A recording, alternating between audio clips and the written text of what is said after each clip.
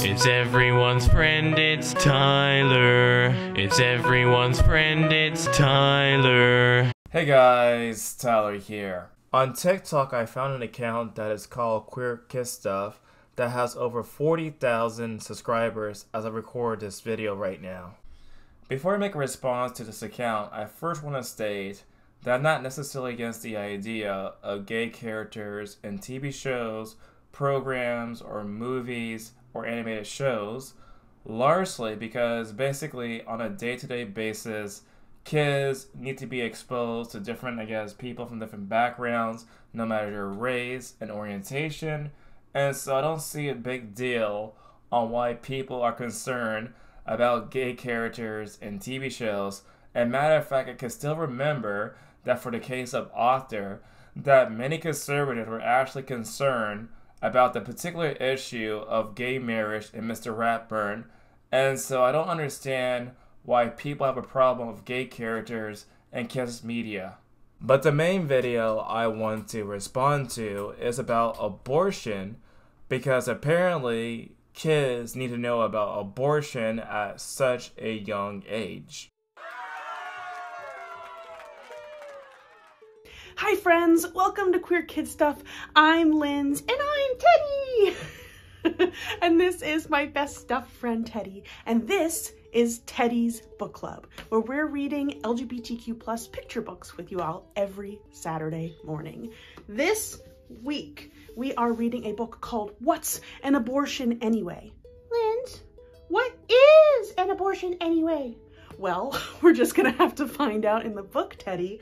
This is What's an Abortion Anyway by Carly Manion and Emulsify. And I'm really excited to read this book because I don't think there are any other picture books that talk about what an abortion is. And it's really important idea to understand right now. Isn't it, Teddy? Yeah, that's right. All right, well, let's learn what an abortion is anyway. you ready, Teddy? Ready. All right, let's dive in. All right, my friends, this is What's an Abortion Anyway by Carly Manion and Emulsify. What's an abortion anyway? Let's find out, my friends. Oh, I love reading the dedication. This book is dedicated to anyone who has ever had or ever will have an abortion. How wonderful. All right, let's get into it. When a person gets pregnant, many different things can happen. Some people are pregnant for many months and have a baby. That's what happened to you. Hmm. Some people have a miscarriage. A miscarriage is when a pregnancy isn't healthy enough to keep growing. Hmm. Some people have an abortion. An abortion is when someone decides to stop growing their pregnancy. Hmm. Going to a health clinic over there. There are many different ways that people who are pregnant can have an abortion. Some people see a doctor who does a special procedure to remove the pregnancy from inside a person's body. Other people take medicine to stop the pregnancy from growing bigger. Medicines like misoprostol.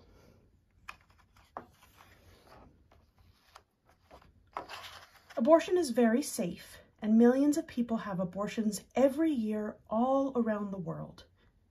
No matter how someone has an abortion, everyone should be able to decide the way that is best for them. I think so too.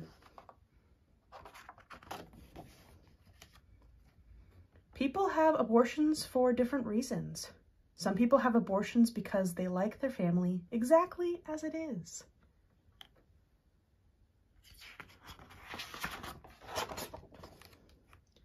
Some people have abortions because they can't take care of a new baby right now. Some people have abortions because their doctors say pregnancy could make them sick.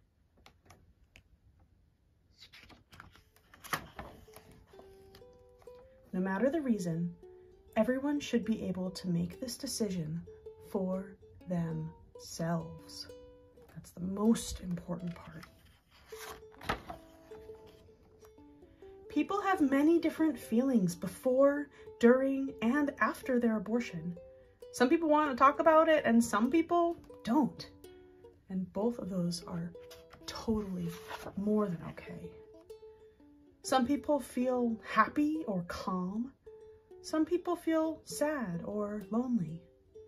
Many people feel all these things at the same time. That's a lot of feelings, isn't it?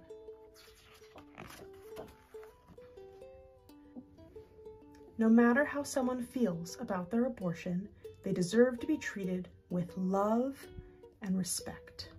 Exactly. Because we can never really know what it is like to be someone else.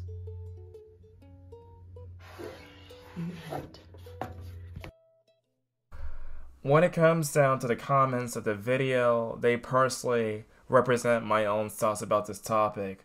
Let children be children. This topic is too heavy for a child to carry. Look, I am pro choice, but wow. Just wow. This topic does not need to be cutesy little kids' book and lesson. Leave these topics for teenagers and up. This is not appropriate content for children. How is this allowed? You should be ashamed. Kids should not be anywhere near you or your inappropriate content and mindset. We do not consent. Leave our kids alone. We are winning. We will not kill our kids that you hate. This makes me sick to even try to justify teaching this to children.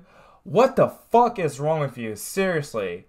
So, like, I didn't talk about sex at school till I was over 10 years old, and we were only taught it in the context of science, such as biological parts. You ruined childhood education. As I record this video, I am not a parent, but I can only imagine that for the case of parents, they put different limitations upon things that they can see or not see for their child.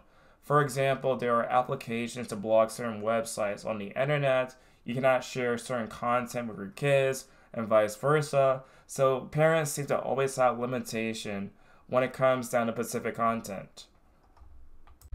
The creator of the show has stated this When I talk about queer, trans, and non binary kids, I'm not talking about kids who currently identify as such. I'm talking about all kids because all kids are queer, queer as in different, non normative, and pre structural. That's why kids are vital to liberation movements.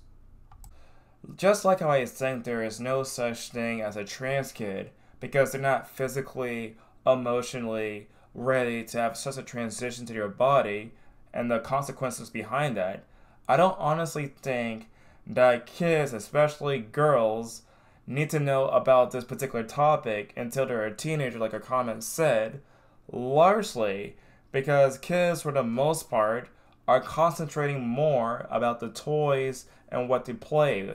I don't think they can actually handle such a really deep, complex topic like abortion until they reach around 13 years old. I remember specifically when I was younger that somebody that was related to me basically was into like you know middle school for the Catholic middle school. And so what happened was that basically the middle school that was Catholic tried to encourage the students there to basically go to like a march for pro life because the Catholic stance is still is like pro life. And this whole entire video basically reminds me about this. It seems to just push a certain worldview because they want to go after your kids. For both the case of the Catholics when I was like, you know, younger with my sibling, and for the case of this video, pushing this idea, uh, teaching these ideas while they're still basically young and not old enough to think about the ideas themselves. So what do you guys think? What is the appropriate age to talk about abortion with your kids? Tell me in the comment section down below. And as always, I'll see you guys in the next video.